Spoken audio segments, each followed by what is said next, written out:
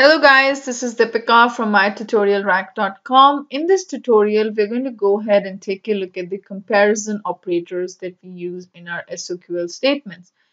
And so let's say if you wanted to go ahead and look for an account name equals to United Healthcare, then you're going to go ahead and use the equals operator. This expression is true if the value in the field name equals the value in the expression.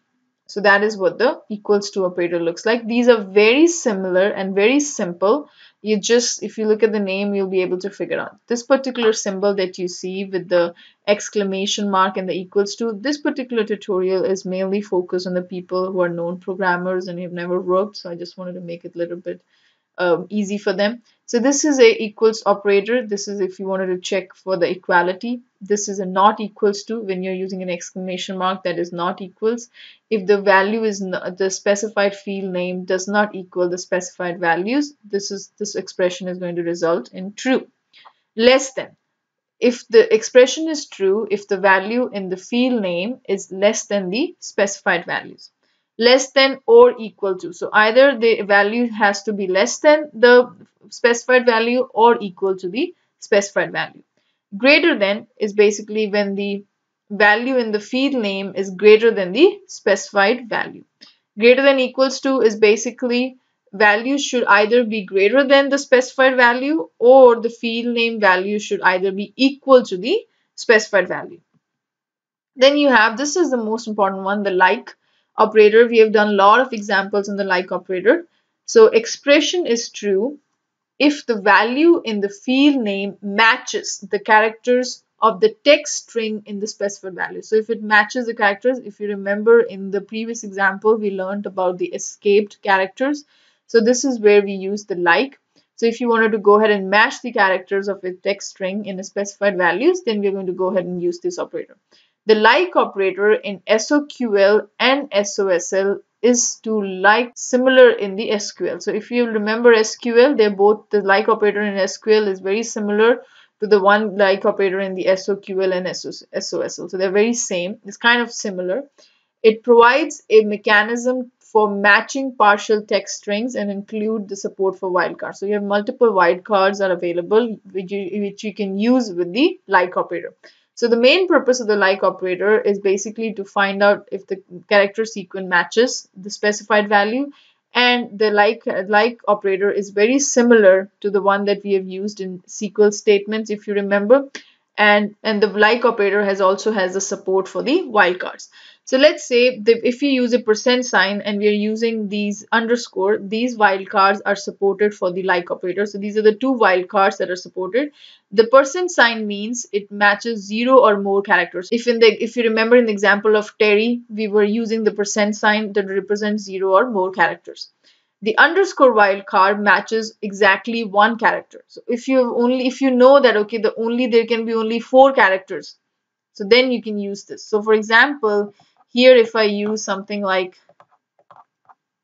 select the id comma name from the account object where the name like and I can say here ter and underscore means there can be only four letters can be there. So if I go ahead and execute this, so this is only going to give me four letters because the underscore exactly matches one character. The percent sign exactly matches zero or more characters.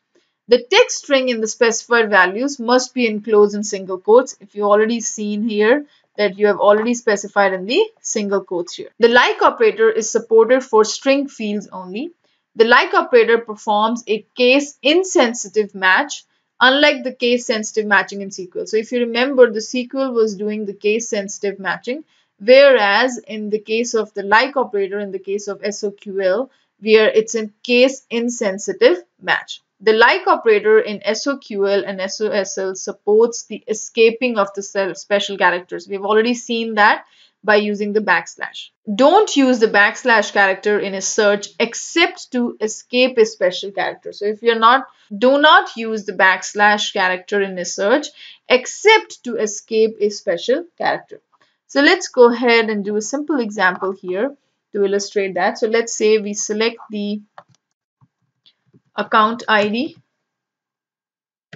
the first name and the last name from the contact object where the so let's first see what kind of context records we have. So these are all the contact information. So it fetched everything. So let's say we were looking for something with the name starting with the letter a okay? So where the last name like so we can use a here and then percent if a and percent means it can have zero or more characters so if you go ahead and execute it will fill sorry where the first name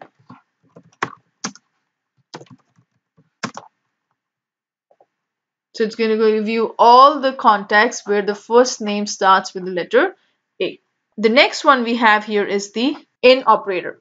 So let's say if the values, any one of the specified values in the where clause. So for example, you are looking for uh, the students who are enrolled in English, maths or science. So that is like these are the three values. For example, the values for in must be in the parenthesis and they must be surrounded by the single quotes. So let's say we have an example here. Select the name from the account object where the billing state. So let's go ahead and select the billing state first. So let's go ahead and select the billing state from the account. So let's go ahead and execute.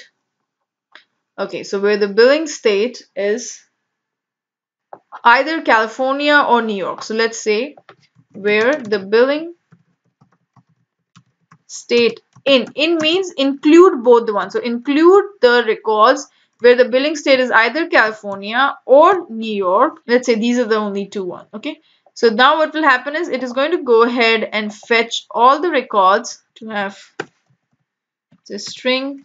You have to specify the string here.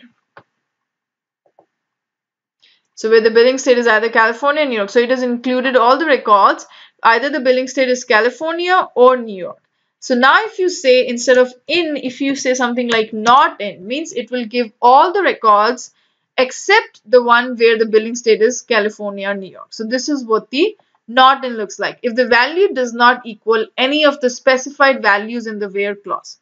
For example, the, val the values for not in must be in parentheses and string values must be surrounded by single quotes. So this is an important point here that all the values should be in single quotes and it should be surrounded by the parenthesis. So not in will give you every record except the ones where the billing state is California or New York. So this is what the not in looks for, stands for. Includes and excludes, this is only applicable to the multi-select pick list and I'm not going to go deep into that. So these are the comparison operators that are available um, in the Salesforce Apex programming language.